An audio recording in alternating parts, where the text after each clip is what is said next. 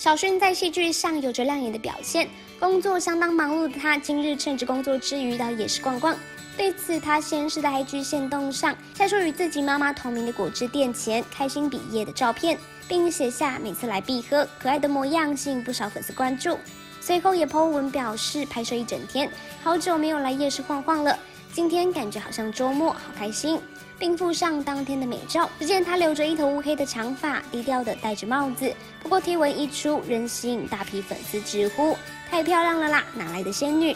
该贴文也调出演员于静留言表示，以为是哪个韩星呢？